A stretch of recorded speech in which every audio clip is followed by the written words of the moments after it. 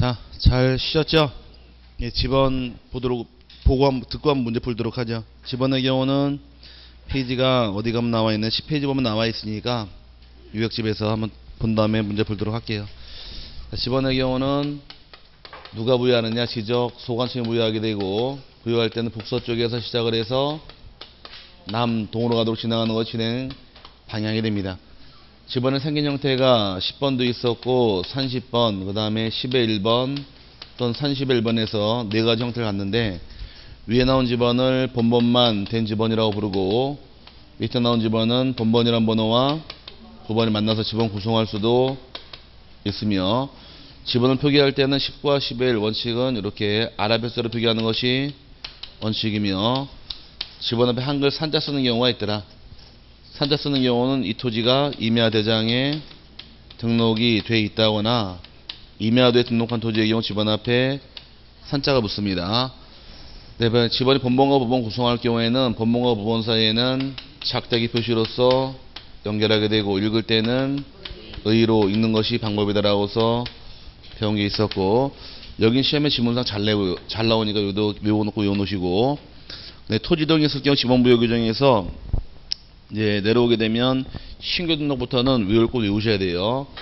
첫 번째 신규 등록이 있다거나 또는 등록 전환이 있는 경우에 집은 어떻게 부여하더라?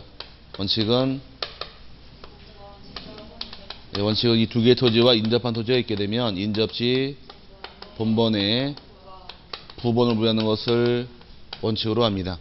예외 규정은 다만 다음에 해당하는 경우는 최종 본번 다음 번호부터 최종 본번 다음 번호부터 순차적으로 본번만으로 부여할 수 있는 예외 규정이 세 가지가 빠지는데 첫 번째 나오는 것은 대상 토지가 제일 마지막 지번 최종 지번 토지와 인접한 경우. 제일 마지막 최종 지번 토지와 인접한 경우는 그 다음 집원 줄 수도 있고 두 번째 이미 등록한 토지와 거리상으로 멀리 떨어져서 거리상으로 먼 거리여서 부번이 불합리할 때는 번호만 줄 수도 있고 마지막이 여러 필지로 되는 경우에도 본번만으로 부여할 수 있다 그랬으니까 이 세 가지가 껴나오게 되면은 요게 들어와야 돼요. 부여할 수 있다로 주의하시고 두 번째가 분할이 있는 경우. 분할이 있게 되면 원칙은 분할 후에 하나의 필지에 대해서는 분할되기 전 집원을 그대로 부여하게 되고 하나를 제외한 나머지 토지의 경우는 본번의 최종 두 번 다음 순번으로 두 번을 부여하는 것을 원칙으로 해서 여기는 이렇게 오시라 그랬죠. 최종 부번 다음 부번을 부여넣어야 됩니다. 이 원칙이면 예외 규정은 분할하는 필지상에 주거나 사무실 등 건축물이 있게 되면 이 건축물이 있는 땅에 분할되기 전 집원을 의무적으로 우선 부여 여기는 하여야 한다 의무 규정이니까 주의하시라 했습니다. 할 수 있다가 아니라 의무 규정이에요. 그 다음에 세 번째 합병하는 경우는 합병할 때는 원칙은 합병 대상 지번 중에서 가장 빠른 선순위 지번으로 지번을 부여하실 것. 선순위의 개념은 본번이 있을 당시에는 본번 중 가장 빠른 선순위가 지번이 결정이 되는 것이 원칙인데 예비 규정의 경우는 마찬가지로 분할, 합병하는 필지상이 주거나 사무실 등 건축물이 존재해서 이 지번을 부여해달라고 소유자가 신청을 한 때에는 시, 이때는 저 지번을 의무적으로 우선 부여 여기도 하여야 한다라고 나세요? 예, 무조건 여긴 다 의울사안이에요. 차이점 여기는 신청할 필요가 없지만 여기 신청을 해주는 것이니까 뒤에 비, 저 비교하시라고 그랬고 마지막 네 번째 경우는 이제 도시개발 사업 등 지적 확정 측량을 실시한 경우 지적 확정 측량 실시한 경우는 원칙은 지원 부여할 때 종전 지번 중에서 본번만으로 부여하는 것이 원칙인데 본번은 사용 못하는 본번 두개 있다고 배웠습니다. 쓸 수 없는 집원은 도시개발 사업 시행지역 안 하고 밖에 동일한 본번 같은 있는 경우 사용할 수가 없게 되어 있고 사업 시행 지역 경계에 걸친 집원도 사용할 수는 없다 그랬습니다. 이 두 개를 뺀 본본으로 하는 게 원칙이고 예비 규정의 경우는 이제 다만 부여할 수 있는 종전 지번의 수가 새로 부여할 지번의 수보다 적은 때에는 이 말뜻 지번이 이거 부족하다 그랬어요. 부족하게 된 경우는 메꿔야겠네요. 메꿀 때 둘 중에 하나는 메꾸더라. 하나는 블록 단위로 한 해 본번을 부여한 후에 세분해서 부번을 부여할 수도 있고 또 하나가 최종 본번 다음 번호부터 순차적으로 본번만으로 부여할 수도 있다 해서 다 할 수 있다 규정인 거지 의무 규정 아니라 그랬습니다. 논점이 두 개가 더 발생하는데 이 지적 확정 식량 지역을 준용해서 지번 똑같이 가는 경우가 세 가지 있다고 배웠어요. 하나는 지번에 변경이 있는 경우 두 번째 경우 행정구역 개편을 통해서 행정구역에 변경이 있는 경우도 마찬가지이고 세 번째 경우는 축척을 변경하는 경우도 이 방법을 따라가는 것이 방법이라 해서 이 세 개는 외우셔야 됩니다. 그 다음에 이 지적 확정 측량 실시 지역은 공사 끝나고 부여하는 게 원칙이지만 공사가 준공되기 전에도 집어는 미리 부여할 수가 있는데 미리 부여할 당시에는 도시개발 사업 계획대에 의해 집어는 미리 부여할 수가 있다 해서 여기까지가 집원이에요. 네, 집원은 소관청에 부여했지만 집원 변경할 때 누구 승인 받으실 것? 집원 변경 시, 집원 변경하고자 할 때는 시도지사나 대도시장의 승인을 받아야 집원을 변경할 수가 있고 때 집원 어떻게 부여라고 배웠어요? 지적 확정 측량 실시 지역을 준용한다까지 따라 나오면은 집원은 공부 끝난 겁니다. 저기서 여기까지 한 문제를 줘요. 딱 한 문제 나오는데 여기니까 요건 나오면은 보너스 문제니까 외우면 보너스고 안 외우면은 되게 어려운 문제예요. 집어는 외워 놓으시길 바랍니다. 이제 문제 보게 되면 1번부터 볼게요. 1번이 공간 정보의 구축 및 관리 등에 관한 법령상 지번의 구성 및 부여 방법 등에 관한 설명으로 틀린 것은 1번 지번은 아라베스자로 표기하되 임야대장 및 임야도에 등록하는 토지의 지번은 숫자 앞에 산자를 붙인다. 맞았나요? 맞고 두 번째 분할의 경우에는 분할 후의 필지 중 1필지의 지번은 분할 전 지번으로 하고 나머지 필지의 지번은 번번의 최종 부번의 다음 순번으로 부번을 부여한다. 최종 부번, 다음 부번 맞고 세 번째 축척 변경 시행 지역에 필지의 지번을 부여할 때에는 그 지번 부여 지역에서 인접 토지의 번번에 부번을 붙여서 지번을 부여해야 한다. 맞았나요? 어떻게 부여해야 돼요? 여기 나와야죠. 축척 변경은 지적, 확정, 측량, 실시적을 준용해서 종전 지번 중 본번만 쓰는 게 원칙인 거지 인접 본번에 부번 주는 게 아니니까 3번 잘못된 말이고 4번의 경우 신규 등록 대상 토지가 그 지번 부여 지역의 최종 본번에 최종 지번 토지에 인접하여 있는 경우에는 그 지번 부여 지역의 최종 본번의 다음 순번부터 본번으로 하여 순차적으로 지번을 부여할 수 있다. 맞았어요? 맞고 요건 예외 규정 요거네요. 최종 지번 토지 인접한 경우에 그 다음에 5번 행정구역 개편에 따라 새로 지번을 부여할 때에는 도시개발 사업 등이 완료됨에 따라 지적 확정 측량을 실시한 지역에 지번 부여 방법을 준용한다. 맞았네요. 틀린 것은 3번이죠. 2번은 넘어가고 그 다음에 3번입니다. 공간정보의 구축 이건 3번 대신 4번을 부를게요. 너무 쉬우니까 4번이 공간정보의 구축 및 관리 등에 관한 법령상 지목의 구분 기준에 관한 설명으로 옳은 것은 1번 물을 상시적으로 이용하지 않고 당나무, 묘목, 관상수 등의 식물을 주로 재배하는 토지는 전으로 한다. 흠잡을 데가 없네요. 물을 이용하지 않고 작물 재배할 때가 전이니까 1번이 맞는 말이고 2번이 온수, 약수, 석유류 등을 일정한 장소로 운송하는 송수관, 송유관 및 저장시설 부지는 광천주라는 광천지에서 제외시키니까 2번은 틀린 말이고 3번의 경우 아파트, 공장 등 단일 용도의 일정한 단지 안에 설치된 통로 등은 도로로 한다. 도로에서 제외죠. 아파트 안에 있는 경우는 대로 편입, 공장 안에 있으면 공장 용지로 편입되니까 도로로 보지 않습니다.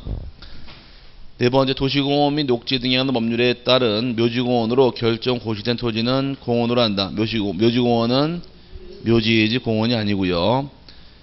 5번이 자연의 유수가 있거나 있을 것으로 예상되는 소규모 수로 부지는 하천이 아니라 국어가 돼야 되겠죠. 다 틀리 1번 하나 맞는 말이 되겠네요. 그 다음에 5번도 여러분이 풀어보시고 6번 보겠습니다. 건너가서 지적 공부에 등록하는 면적에 관한 설명으로 틀린 것은 여기 기출 문제고 뒤에 가면 또 면- 지번이 나오니까 면적을 지금 설명드리기는 아까운데 아유 면적을 좀 이따 설명드릴게요. 왜, 요 지번 문제 풀고 풀으려고 예, 쭉 나온 게 아니라 기출 문제 예상 문제 섞여 있다 보니까 일단 요거 풀어드리고 면적 다시 다시 설명드릴게요. 6번이 지적공부 등록 면적에 관한 설명으로 틀린 것은 1번 면적은 토지 대장 및 경계점 좌표 등록부의 등록사항이다. 틀린 말입니다. 면적에 나오는 것은 토지 대장하고 이마 대장이에요. 어디만 나온다고요? 토지 대장하고 이마 대장만 나오기 때문에 1번은 잘못된 말이고 그 다음에 2번이 지적도의 축척이 600분의 1인 지역의 토지 면적은 제곱미터 이하 한 자리 단위로 한다. 0.1까지 가는 것 맞았고요. 그 다음에 3번의 지적도 축척이 1200분의 1인 지역의 1필지 면적이 1제곱미터 미만일 때에는 1제곱미터로 한다. 맞았나요? 1000단위일 경우는 1, 까지 결정하게 되어 있고 100단위는 0.1까지 가니까 맞고요. 그 다음에 4번이 임야도의 축척이 6천분의 1인 지역의 1필지 면적이 1제곱미터 미만일 경우는 1제곱미터로 한다. 맞고요. 경계점 좌표 등록부에 등록하는 지역의 1필지 면적이 0.1제곱미터 미만일 때에는 0.1제곱미터로 한다. 경계점 좌표 등록부하고 600분의 1의 경우는 얼마까지 가요? 0.1까지 가니까 맞는 말이 되고 7번은 풀어보시고 8번을 볼게요. 똑같이 겹치는 문제니까 8번의 경우에 지목을 지적도 및 임야도에 등록하는 때에는 부호로 표기해야 한다. 다음 중 지목과 부호의 연결이 옳은 것을 물어봤는데 원칙은 지목 기재할 때 다 머리 글자가 원칙이 돼 차문자 따는 경우 몇 개 있더라? 네개 있다고 배웠었죠. 하천에는 하천은 천, 유원지는 원, 공장용지는 장, 주차장은 차. 네 개를 뺀 나머지가 다 머리 글자가 되므로 1번 철도용지는 뭐를 따야 돼요? 철. 1번이 답이네요. 그러면 하천은 천을 따야 되고 창고용지는 창을 따야 되고 목장용지는 목을 따야죠. 맞죠? 목을 따야죠. 그 다음에 장 따는 게 아니라 공장용지는 장을 따야 되니까 1번이 정답이 됩니다. 밑에 9번의 경우는 안돼 면적 설명 드리겠네. 면적이 자꾸 문제 튀어나와서 요건 다 외웠다고 봐도 되겠죠? 네, 면적 보자고 이번에는 지워버리고 면적이 있다가 뒤에 거 같이 보려고 그랬더니 면적이 자꾸 나와서 안 되겠네요.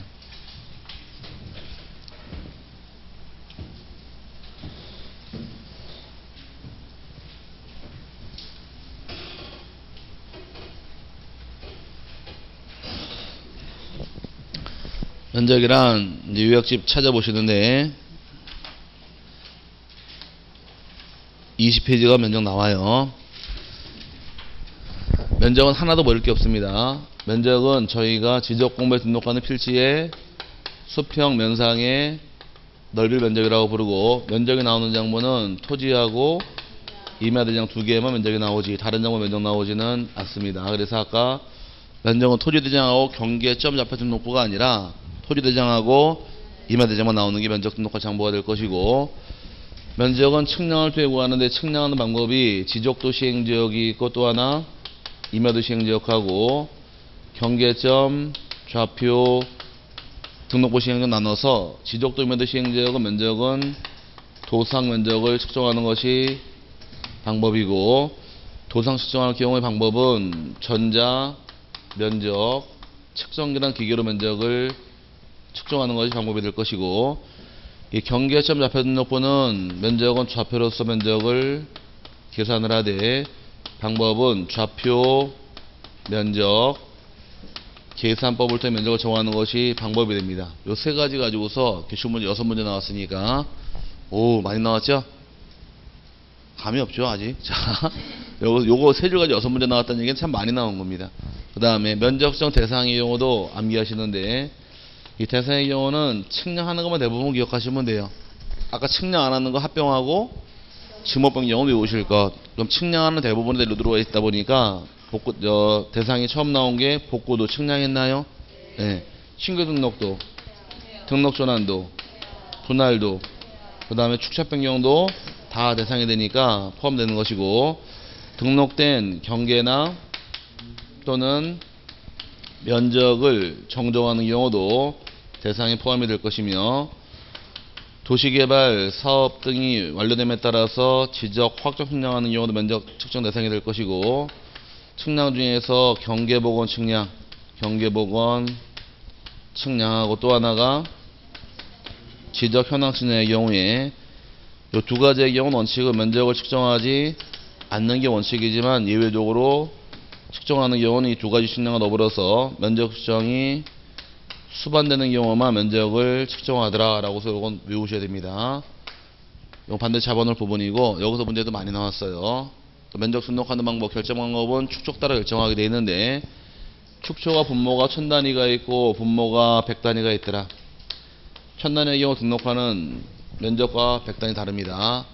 천 단위 축초의 경우는 종류가 천분의 일, 그 다음에 천이백 분의 일, 이천사백 분의 일, 3천분의 1, 6천분의 1, 이 다섯 가지 천단인데 여기는 등록하는 면적이 1 제곱미터 등록하는 단위 면적이고 100단위의 경우는 경계점, 좌표 등록부 시행 지역하고 600분의 1 지역 나눠서 이 두 가지는 등록하는 면적이 0.1 제곱미터가 등록하는 단위 면적이에요. 축초의 분모가 천 단위일 경우는 얼마까지 결정하시고 1제곱미터가 등록하는 최소 면적이고 여기는 최소 면적이 0.1입니다. 그럼 1 미만일 경우 무조건 1이에요. 0.1서부터 1이 나왔더라. 무조건 1이고 100단위는 0.01서부터 0.1 나온 경우 무조건 0.1로 가는 것이 최소 면적의 뜻이에요. 그 하나의 펼칠 측량 결과 천 단위에서 15제곱미터 나왔다는 얘기는 1의 자리 결정 끝났죠? 뭐 손댈 필요 없고 여기는 만약에 15.5가 나온 경우 소수점 한 자리 결정 끝났으니까 손댈 필요가 없는데 뒤에 달고 들어온 경우 어떻게 할 것이냐 이게 문제입니다. 달고 들어오는 경우는 위에 건 얼마까지 결정해요? 1까지 잘라서 뒤에 붙은 숫자를 올리거나 버리거나 결정할 문제가 발생한 것이고 여기도 뒤를 잘라서 이 숫자를 올리거나 버리거나 결정하게 되어 있는데 천 단위는 0.5를 기준으로 0.5를 기준으로 0.5를 초과하는 경우는 올리고 미만의 경우는 버려라. 내리면 창피하면 또 끄집어 올리니까 안 돼요. 그래서 아예 버려버려야 돼.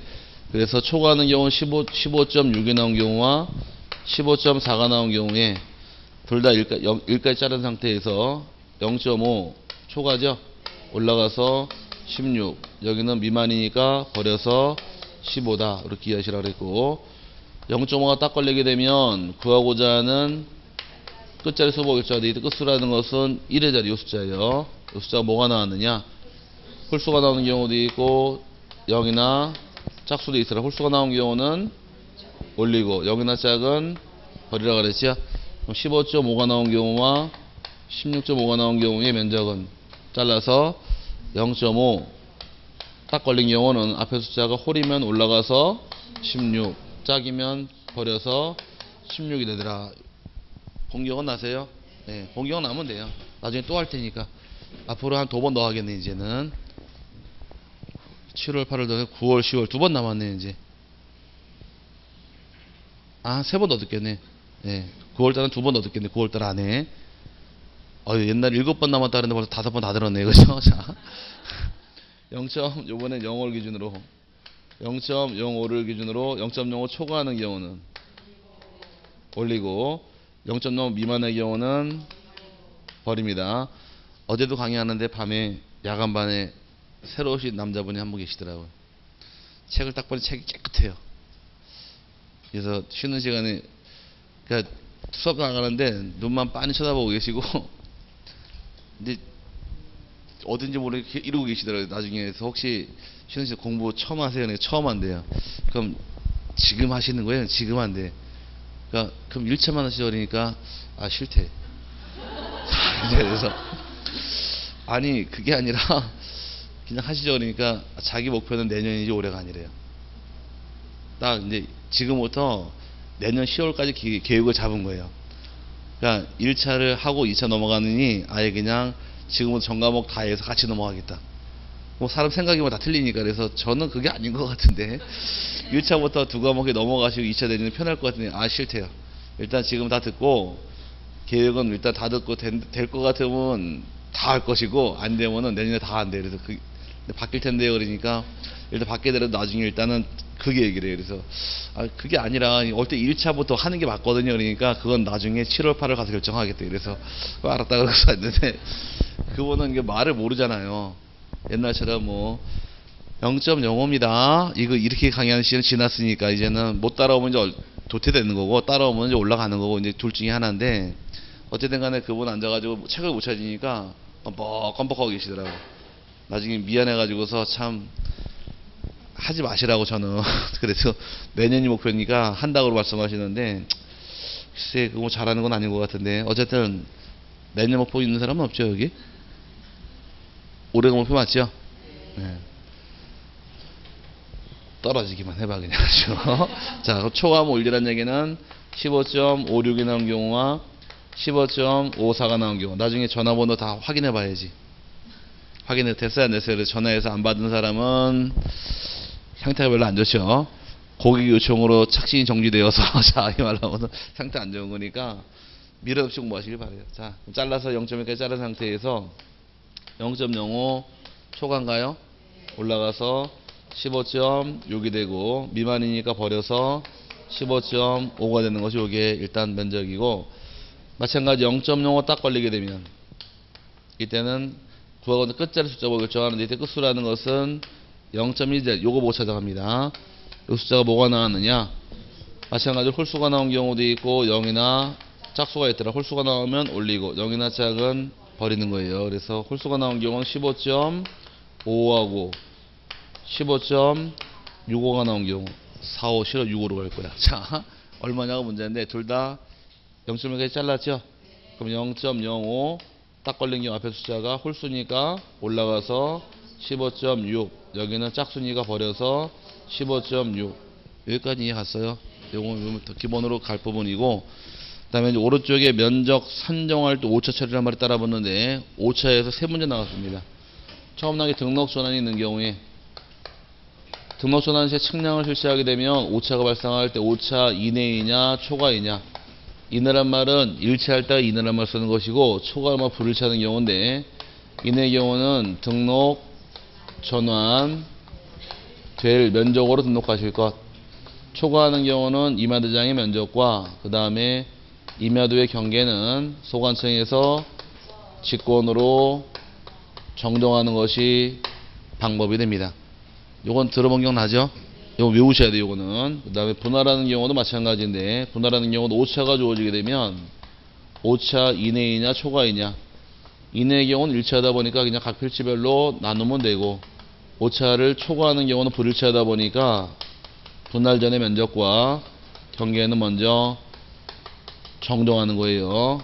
끝나고 묶어 드릴게요. 그 다음에 세 번째 잠깐 놔두시고 네 번째부터 복구하는 경우 복구하는 경우도 측량을 통해서 오차 이내의 경우와 초과로 나누는데 이내의 경우와 초과하는 경우 이는 문제될 건 없습니다. 이내는 일치하기 때문에 옛날 면적 조사된 면적 종료 그대로 갈 것이고 초과하는 경우는 마찬가지로 면적이나 또는 경계를 여기는 조정한단 말씀입니다. 조정할 수 있는 것이 방법이 될 것이고 마지막에 축척을 변경하는 경우에 축척을 변경하고자 할 때도 5차 이내와 초가 나눠서 5차 이내의 경우는 종료 면적 그대로 가다 보니까 청산금 산정할 필요가 없어요.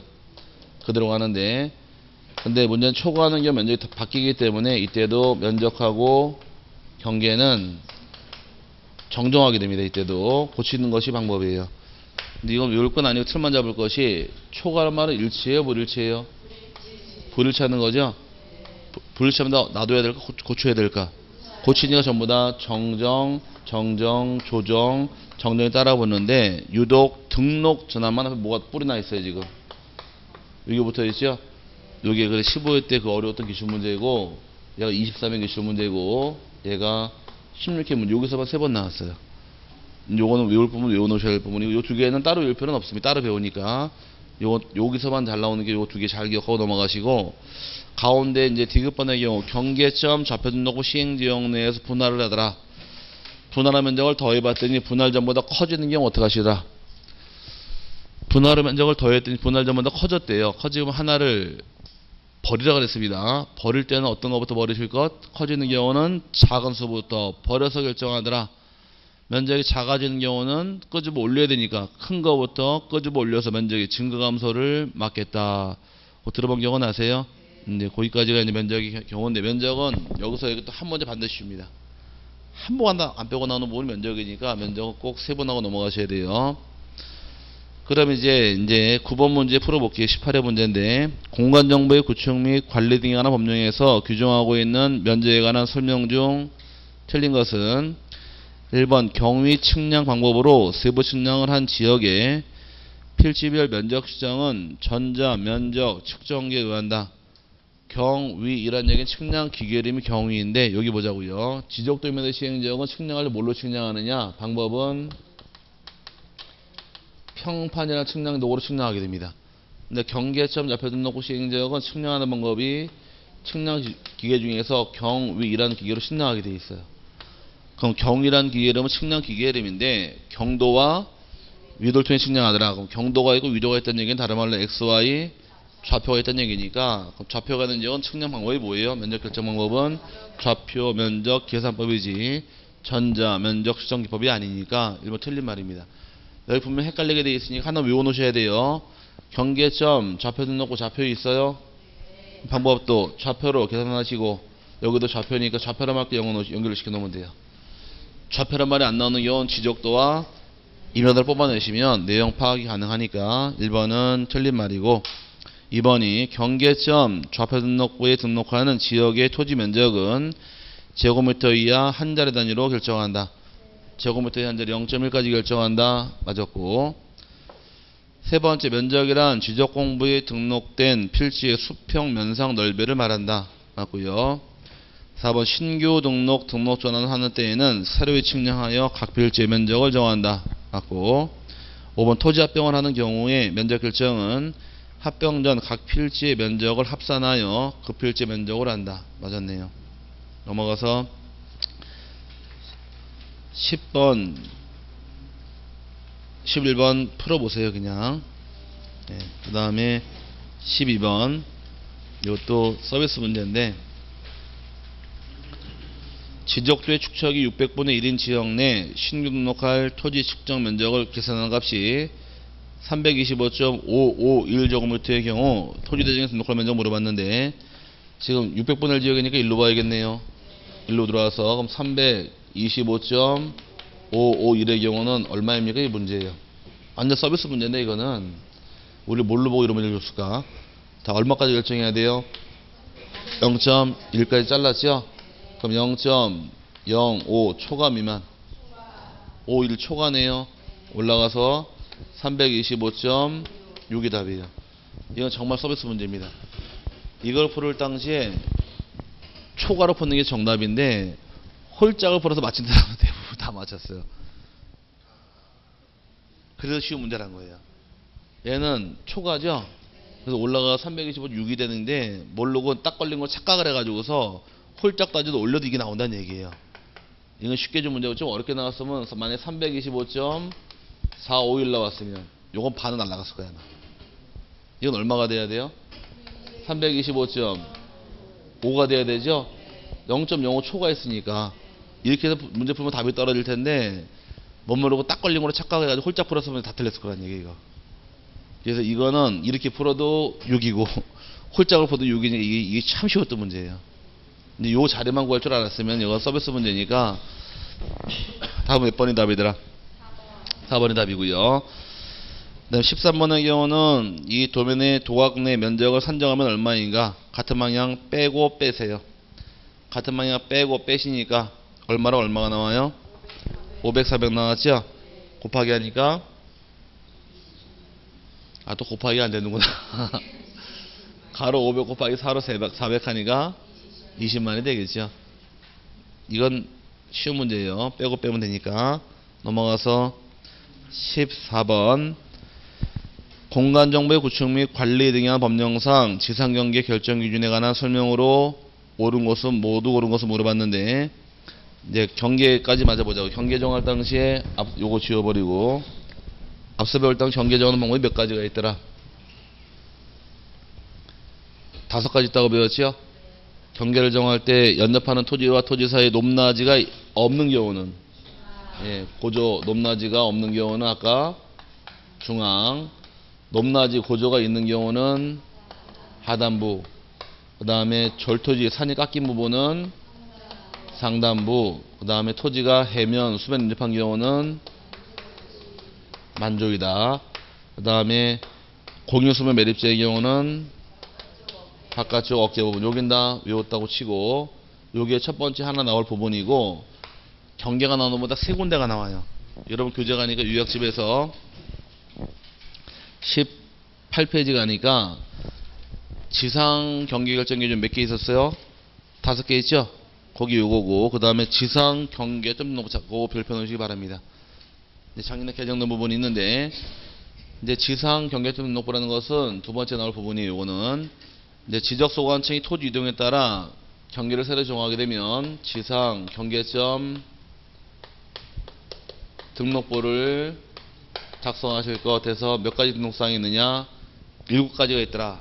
다섯 개가 있다. 추가가 돼. 일곱 개로 늘어났는데 처음에 토지의 소재가 있고 두 번째가 지번이 어, 지번이 있고 세 번째가 좌표가 있더라. 좌표는 경계점 좌표 등록부 시행지역만 등록할 것이고 그 다음에 경계점의 설명도 경계점의 사진 파일까지 등록한다. 이렇게 다섯 개가 정해져 있다. 두 개가 추가가 되어서 하나는 공부상 지목과 그 다음에 실제 토지 이용 지목을 등록할 것 찾으셨어요?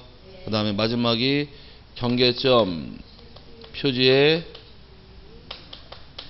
종류하고 경계점에 위치 등록하실 것 같아서 일곱 가지가 등록사항으로 추가가 됐으니까 여기 하나 나올 부분이며 이제 마지막 나올 부분이 건물이 있는 땅 분할할 때 건물을 걸리게 분할할 수는 없는 게 원칙이지만 건축물에 걸리게 분할할 수가 있는 예외 규정이 몇 가지가 있더라 네 가지 있죠 법원에 확정 판결 받은 경우는 건물 물려도 무방하고 두 번째 공공사업 등을 시행할 때도 물려도 무방하더라. 세 번째가 도시개발, 사업 시행 지역, 경계 결정할 때도 가능하며 마지막 네 번째가 도시, 군, 관리, 계획서를 통해 토지 분할하는 경우도 이때도 가능하다라고서 배웠어요. 네 가지가 검은 물려도 무방한 케이스가 되는 겁니다. 요 세 개 중 하나 나와요. 경계는 매 한 문제 꼭 내게 돼 있는데 경계도 요거 요거 요거 좀 나오니까 참고하시길 바랍니다. 얘가 나왔던 게 20회, 22회, 24회 나왔고 얘가 21회 나왔고 얘가 이- 작년 25회 냈으니까 한 번 안 빼고 나와요. 여기 나오는 건 서비스 문제니까 셋 중에 하나 나올 때 맞추시면 됩니다. 그러면 14번의 경우 답은 풀 수 있겠네요. 이제 박스의 기억번 연접하는 토지 간의 높낮이 차이가 없는 경우는 그 구조물 등의 바깥쪽 면이 아니라 중앙이 될 부분이고 니은번 연, 연접되는 토지 간의 높낮이 차이가 있는 경우는 하단부자 상단부가 아니라 도로 구호 등의 토지에 절토된 부분이 있는 경우는 상단부가 되니까 틀린 말이고 그 다음에 릴번의 경우는 토지가 해면 또는 수면에 접하는 경우는 최대 만조일 또는 최대 만수위가 되는 선. 요거 맞았네요. 그 다음에 공유수면 매립지 토지 중 제방을 등을 토지에 편입하여 등록하는 경우는 바깥쪽 교부 맞는 말이 되어서 리을, 미음 두 개가 정답이 됩니다. 참 쉬웠던 문제고. 15번의 경우는 공간정보의 구축 및 관리 등에 관한 법령상 분할에 따른 지상경계를 결정하 겨- 지상경계를 지상 건축물에 걸리게 결정할 수 없는 경우는 물어봤습니다. 걸리는 거 몇 가지 있다고 떠들었어요 아까? 네 가지 있죠? 1번에 소유권 이전 및 매매를 위해서 분할을 하는 경우 이건 대상이 될 수는 없으니까 1번이 답이고 2, 3, 4, 5번이 바로 이거예요. 확정 판결 있어요? 네. 공공사업, 도시개발 사업 시행적 경계결정, 도시군 관리성 네 가지는 대상이 되니까 여기서 시험 세 번 나왔습니다. 그 다음 넘어가시게 되면은 이제 16번에 지상 경계점 등록 후에 등록사항으로 옳은 것은 해서 물어봤는데 총 몇 가지 있더라 등록사항이 7가지가 있는데 겹치는 거 하나가 답입니다. 경계점 위치에 설명도만 등록사항이고 나머지 등록사항이 아니니까 밑에 설명란에 소재 지번 경계점 좌표 경계점 위치의 설명도 경계점에 대한 사진 파일 나와 두 개가 빠져 있죠. 두개 더 채워 넣으셔야 돼요. 하나는 공보상 지목과 실제 토지 이용 지목 그 다음에 또 하나가 경계점의 종류 및 경계점의 위치까지 등록하는 것이 등록사항이 되니까 우리 지- 집어넣어서 일곱 가지 만들어 놔야지만 등록사항이 됩니다. 이제 한 문제 만들 가능성이 됐어요. 커져서 이제 예상 문제 보도록 하죠. 1번부터 토지 이동에 따른 지번 부여 방법에 관한 설명 중 틀린 것은 1번 본번만으로 지번을 구성하는 경우를 단식 지번이라 하고 본번과 부번으로 지번을 구성하는 경우를 복식 지번이라 한다. 맞았네요.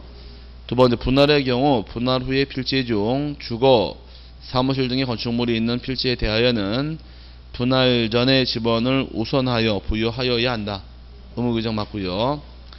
세 번째 신규 등록의 경우로서 대상 토지가 여러 필지의 경우에는 그 지번 부여 지역의 최종 번번에 다음 번번에 부번을 붙여서 부여해야 한다. 말이 안 되죠. 여러 필지는 어떻게 부여해야 돼요? 최종 번번 다음 번호부터 번번만으로 부여할 수 있다는 거지 번번에 부번을 또 주는 게 아니니까 3번은 말도 안 되고 4번이 지번이 32의 1, 33의 1, 34, 34의 1, 35, 36, 37의 지번이 하나로 합병될 합병한 합병의 지번은 34가 된다. 본번, 무번 다섯 개 있는 경우는 본번 중 가장 빠른 본번의 지번이니까 34가 된다. 맞았나요?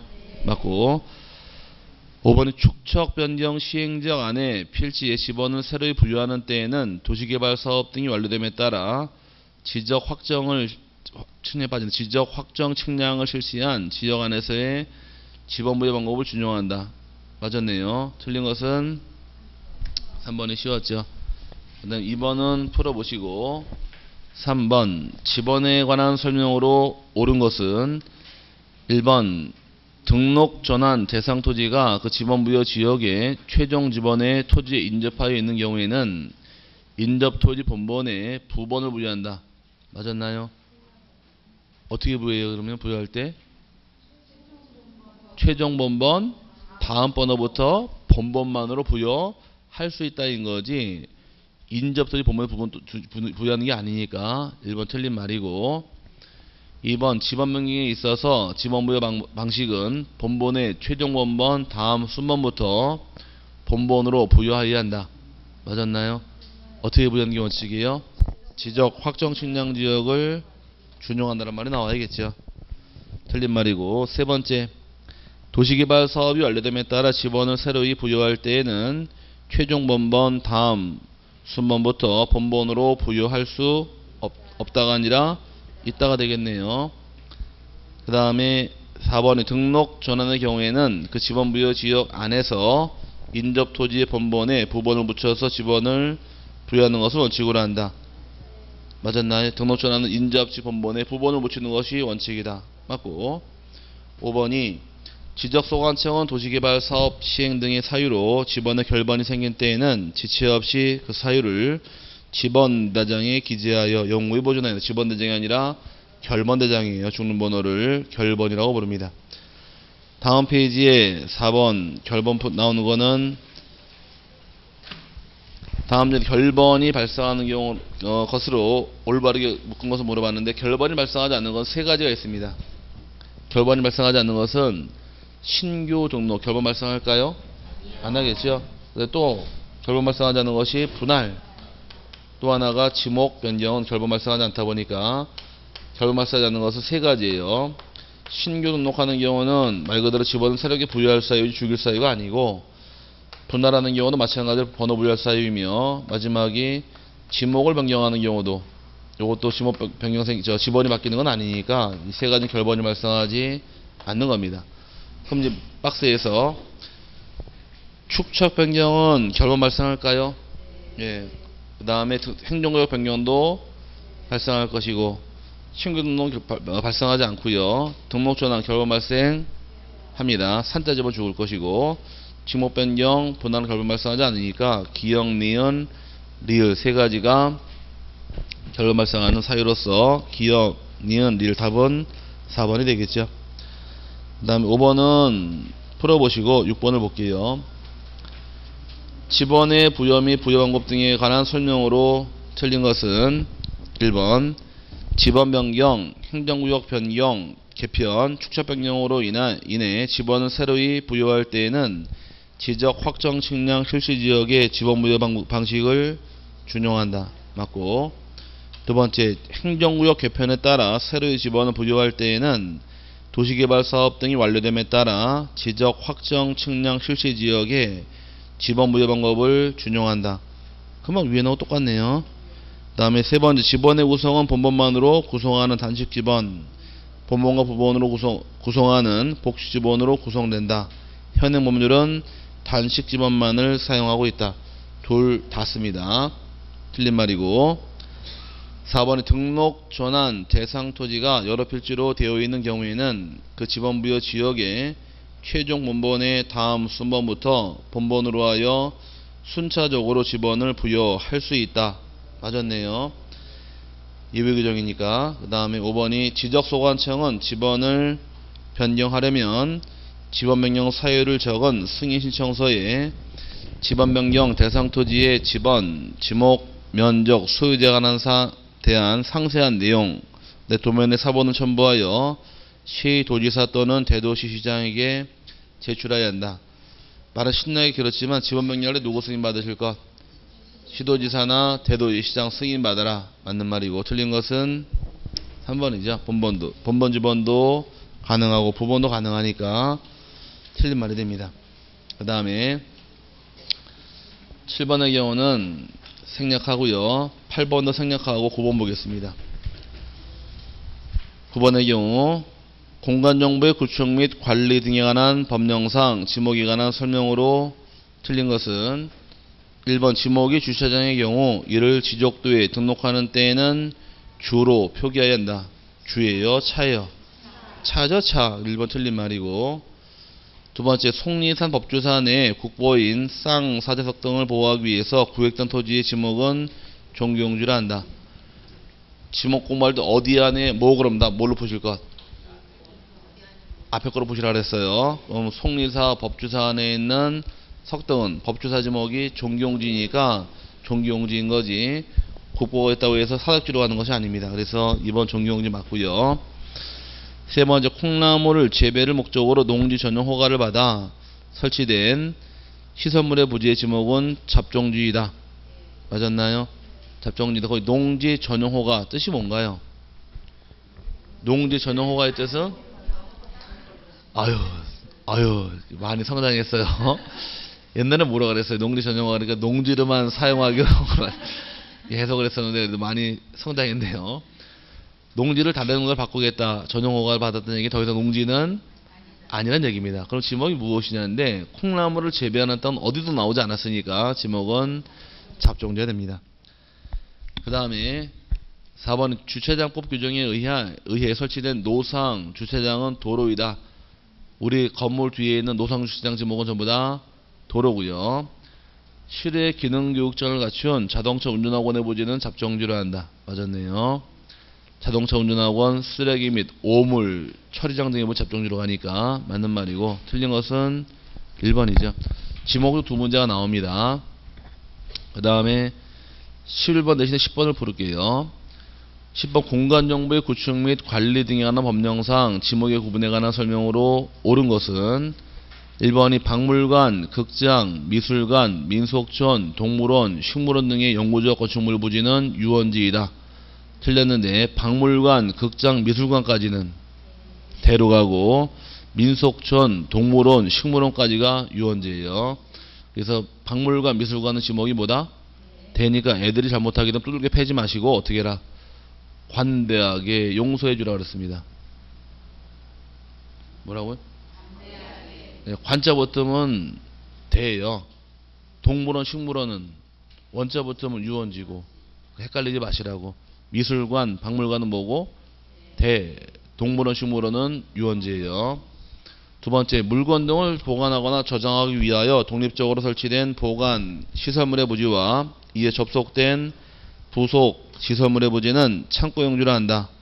하자가 없네요. 2번이 답이고 3번의 경우 자동차 등의 판매 목적으로 설치된 물류장 및 야외 시장은 주차장으로 한다. 주차장이 아니라 일반적으로 잡종지로 분류합니다. 틀린 말이고 4번이 용수 또는 배수를 위하여 일정한 형태를 갖춘 인공적인 수로 똥및 그 부속 시설물의 부지는 유지를 한다. 국어죠, 국어. 유지는 뭐가 유지예요? 물을 저장하고 있는 댐, 소류지, 저수지, 연못 등의 토지가 유지이고 이물 흘러가는 조그만 수로를 국어라고 부르는 거예요. 또랑 등은. 그 다음에 5번이 지하에서 석유류 등이 용출되는 용출구와 그 유지에 사용되는 부지는 주유소용지라는 주유소가 아니라 광천지로 가겠죠. 그 다음에 11번 한번 풀어보시고요. 그 다음에 넘어가서 12번 지목의 설정에 관한 설명으로 가장 적합하지 않은 것은 1번이 1필지마다 하나의 지목을 설정한다. 이게 1필 1목의 원칙이고 두 번째 1필지의 용도가 둘 이상 지목에 해당하는 경우 주된 용도에 따라 설정한다. 이게 주지목 추정의 원칙으로 설명하는 것이며 그 다음에 세 번째 조수, 자연유수, 모래, 바람 등을 막기 위하여 설치된 방조제, 방수제, 방사제, 방파제 등의 부지는 제방으로 한다. 제방은 4개 있다고 배웠었네요. 방조제, 방수제, 방사제, 방파제까지를 제방으로 한다. 맞고 4번이 도로, 철도용지 등의 지목이 상하로 중복되는 경우에는 위쪽 지목을 설정한다. 이런 말은 없습니다. 옛날에 했던 것이 용도 경중의 원칙 등록 선호시라만 있었어요. 뭐라고요? 용도 경중 등록 선우에서 이제 어떤 게 더 용도가 더 중요하냐 따지고 지목 정하는 원칙이 있었고 등록을 어떤 걸 먼저 했느냐 따지는 기준이 있었는데 그러다 보니까 철도용지가 있고 건널목이 있고 여기 도로가 겹쳤다 요. 여긴 도로고 여기는 철도용지일 경우에 요 겹친 요 땅 지목이 뭡니까 물어봤어요. 요 땅 지목. 그럼 도로 가는 역할은 통행하고 짐 운송하는 기능 하네요. 철도도 사람 운송하고 짐 나르는 역할 하죠. 똑같은 기능을 다 해요. 똑같은 기능을 다 하는데 어디 이 지목이 뭘로 가느냐 물어봤더니 여기 지목은 철도용지다 해요. 뭐라고요? 철도용지지 도로가 아니다라고서 규정을 내렸는데 왜 그럴까? 예? 아, 옛날에는 도를 지키는 사람은 없어요. 철도 지키는 사람은 있죠, 간수가. 아닌가? 어떻게 중요하냐 그랬더니 물어봤더니 도로 지키는 사람은 없는데 여기 지키는 간수는 있대요, 철도. 그래서 간수가 있어야 더 중요하니까 건널목 지키는 사람이 있었잖아요, 옛날에. 그 사람 때문에 여기 지목 철도용지다라고 얘기한 게 네, 근데 농담한 거고 자 지목은 철도 용도 경중을 따져서 간다 이- 이런 원칙이 있었지만 이거를 없애버렸습니다. 법조문상에는 실무상 규정만 남겨놓고 또 등록 선우란 말이 있었어요. 등록 선우. 선우란 얘기는 제방이 있고 저 춘천 쪽 가게 되면 춘천 의암댐, 소영항댐이 있죠. 의암댐은 이렇게 댐 위에다가 돌을 만들었습니다. 그죠? 그럼 그럼 제방에다가 제방에다가 도로를 만드는 경우에 그럼 제방을 먼저 등록했나요? 도로를 먼저 등록했나요? 제방을 먼저 만들었죠. 그럼 등록을 먼저 한 제방이다 이렇게 정한 것이 내용인데 이 원칙 자꾸 깨지기 시작하더란 점이에요. 저 고양시 위로 올라가게 되면 freeway 아 영어가 딸리는구나. 아 자유로라는 도로가 있거든요. 자 뭐라고요? 자유로 자유로가 거긴 임진강 뚝을 통해 만드는 도로인데 임진강 뚝은 제방이죠. 거기 도로 만들었잖아요. 그럼 제방은 등록을 먼저 했는데 그 땅 지목이 뭡니까? 물어봤더니 그 땅 지목은 제방 도로. 아니 임진강 뚝이 도로 만들었잖아 자유로가. 그 지목이 뭐냐예요? 제방이냐 도로냐예요. 아, 참 쉬운데 우리가 자유로 그래요. 자유 제방 그래요. 자유로니까 그 지목은 도로란 얘기예요. 어씨 어떤 거는 시- 제방이고 그건 도로고 안 맞다 보니까 싹 없애버린 거예요 이거를. 싹 빼놓고 이제 송아지 알아서 정해라 라고서 맡겨버렸는데 이제 뒤개가 빠졌어요 지금은. 그러니까 지금은 나오는 규정 아니니까 4번은 말도 안 되는 지문이고요. 그 다음에 5번이 도시개발 사업 등 공사가 준공된 토지는 그 사용 목적에 따라 지목을 설정한다. 맞았네. 이런 원칙을 사용 목적 추종의 원칙이라고 부릅니다. 4번 잘못된 말이고 그 다음에 13번은 풀어보시고요. 14번 보겠습니다. 14번 답이 두 개입니다. 공간정보의 구축 및 관리 등에 관한 법령, 법령상 지목을 구분하는 기준으로 옳은 것을 물어봤는데 1번 산림 안에 야영장의 지목은 임야이다. 맞는 말입니다. 산림 안에 야영장은 야영장을 물어보는 게 아니라 산림을 물어보는 거예요. 지목 임야니까 맞는 말이고 해설도 잘못됐어요. 2번 야외시장, 비행장, 도축장의 지목은 잡종지이다. 맞았나요? 잡, 잡종지가 어떻게 된다고 배웠어요?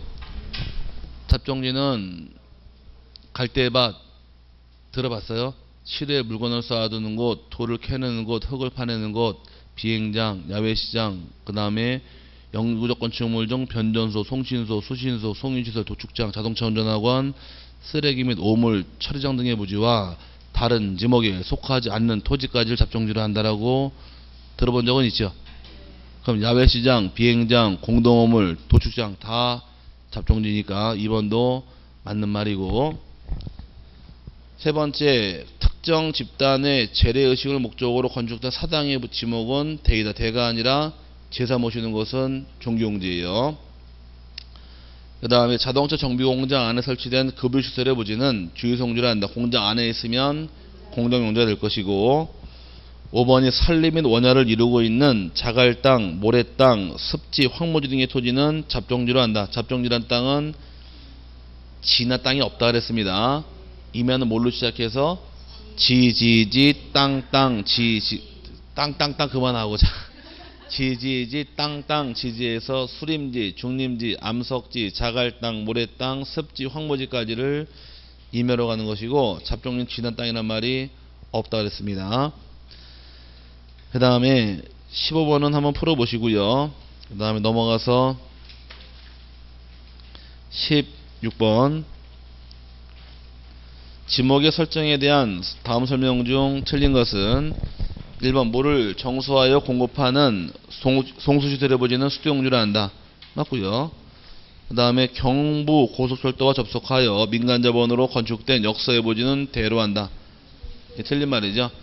건축 역사, 역사라면 서울역이든 대전역이든 부산역이든 역은 전부 다 철도용지이지 대가 될 수는 없습니다. 세 번째, 일반 공중의 위락, 휴양 등에 적합한 시설물을 종합적으로 갖춘 어린 놀이터는 유원지로 한다. 맞고 네 번째, 주차장법제 19조 제4항의 규정에 의하여 시설물의 부지 인근에 설치된 부설 주차장은 주차장으로 한다. 부지 인근이 있다는 얘기는 떨어진 거, 붙어 있는 거. 떨어져 있는 거예요. 그래서 백화점이 있고 저 길 건너편에 주차장이 있는 경우, 요게 떨어져 있는 것을 부지 인근이라고 부르는 겁니다. 떨어져 있는 경우 지목이 주차장이니까 맞는 말이고 5번이 농지 전용 허가를 받아 형결 변경 등 공사를 완료한 토지는 건축 준공과 관계없이 지목 변경을 할 수 있다. 맞는 말입니다. 허가받은 경우는 건물 안 짓더라도 목적 따라 지목을 미리 정할 수 있다 보니까 이런 원칙을 뭐라고 부르느냐 사용 목적 추정의 원칙이라고 불러요. 그 다음에 17번은 여러분이 한번 풀어보시고요. 넘어가서 18번 지적 공부에 등록하는 지목에 대한 설명 중 틀린 것은 1번 지목의 설정 방법은 지목 법정주의, 일필 일지목의 원칙, 주지목 추정의 원칙, 영속성의 원칙 등을 적용한다. 맞고 두 번째 귤나무를 집단적으로 재배하는 토지는 과수원을 한다. 맞았나요? 사과, 배, 밤, 호두, 귤나무를 재배하게 되면 과수원이고 그 다음에 세 번째 공장부지 조성을 목적으로 농지 전용 허가를 받아 토지의 형질 변경 공사가 완료된 경우에는 공장용지로 지목 변경을 할 수 있다. 맞고 계속 비슷한 질문 나오고요. 4번에 소, 방관계법규에 의거 설치된 위험물 이동 탱크 시설 저장 시설 부지는 지목은 잡종지이다. 들어봤어요 이런 말? 못 들어봤죠? 그럼 다른 지목에 속하지 않는 땅은 다 잡종지니까 뭐 안병원 땅 나오면 다 잡종지입니다. 답은 맞는 말이고 5번이 과수원으로 등록되어 있는 토지에 농산물 저온 창고로 건축 허가를 받은 창고의 부지는 창고 용지이다. 아, 과수원 안에 있으면 전부 다 과수원이 돼버리는 거예요. 어디 안에 뭐 그러면 다 뭘로 보실 것? 앞에 겁니다. 뒤에 그룹은 몇개 있다고 배웠어요? 세 개 있다고 배웠죠? 과수원 안에 주거용 땅은 대. 목장용지 안에 주거용 땅도 대. 묘지, 관리랑 건축물 아버지도 대. 그거 세 개만 안에 거고 다 앞에 거예요. 그래서 틀린 말이 되고 그 다음에 20번 볼게요. 20번 지목에 대한 설명으로 틀린 것은 1번 육상의 수산생물의 양식을 위하여 인공적으로 설치된 시설물의 부지는 양호장으로 한다. 맞았나요? 맞고 두 번째가 축산먹귀에 의한 매출이 꿀벌 등의 가축을 사육하는 축사 등의 부지는 목장용지로 지목 변경을 할 수 있다. 매출이도 가축인가요? 꿀벌도 가축이에요? 예? 그 가축의 범위가 넓어요. 가축이란 건 그는 뭐 보게 되면 소, 말, 닭, 양, 흑염소, 매출이, 꿀벌 다 가축으로 봅니다. 심지어 지렁이까지도 가축으로 봐요. 뭐까지? 지렁이. 지렁이 왜 키워요? 옛날에 얘기했었는데. 어, 네? 얼음? 걸음? 아닌데 지렁이 키우는 대, 대부분의 목적은 립스틱 만들 목적인데. 여자 립스틱 예 그게 원료가 지렁이에요. 내일부터 진, 아 거짓말 할까요? 마이크 잡고. 예, 지, 아니 지렁 그, 그 지렁이에요.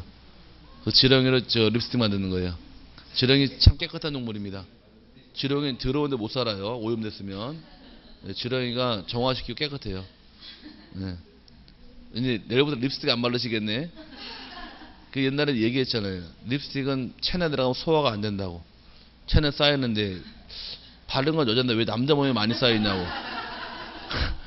그래서 아닌가? 바르긴 누가 발랐고 여자가 그 빨아먹은 것은 남자인데 거기서 또 의문점 또 생긴다 그랬잖아요. 밤에 주무실 때 립스틱 바르고 주무세요? 그럼 이 인간 어디 가서 빨아먹고 가 도대체 자 그래서 이게 참 의문점 자꾸 생기기 시작하는데 아닌가? 아 맞지 않나? 아니 제가 틀린 생각한 게 아니라 추리하고 나가니까 어쨌든 간에 아니 농담은 진짜로 그렇더라고 진짜로 립스틱은 소화가 안 된대요 의학적으로 해서 체내에 쌓이는데 이게 소량이 쌓이다 보니 그게 뭐 생명에 지장은 없을 정도의 양인데 근데 그 체내 조사를 해보니 남자가 더 많대요 실제로 농담하는 게 아니라 우스갯소리 하는 건 아니에요. 실제로 그래서 어쨌든 간에 그 얘기를 듣고서 의문점을 따- 따져보다 보니까 누구 건 조사 한번 해봐야 될 것 같아. 유전 점검 한번 해봐야 될 것 같은데 너 이렇게 많이 쌓여있냐 배에? 자, 자 어쨌든 간에 그 매출이 꿀벌 다 가축입니다. 4번 3번 지목은 토성지목, 지형지목, 용도지목으로 구- 분류되며 우리나라, 우리나라 법정지목은 토지 주된 용도에 따른 용도지목이다. 맞는 말이고요. 그 다음에 4번에 장사 등에 관한 법률에 따른 봉환 시설과 이에 접속된 부속 시설물의 부지는 대로한다. 봉환 시설은 뭔가요? 전부 다 묘지죠, 묘지. 봉환 시설이 옛날 말로 납골당. 납골당이 현재 말로 봉환당이에요. 그 다음에 국도 및 지방 도로변의 휴게소는 대로 한다. 맞았네요. 하지만 고속도로 하는 휴게소는 도로입니다. 그 다음에 21번은 잠깐 쉬었다 갈 테니까요. 다시 다시 쉬고 와서 또 보도록 하죠.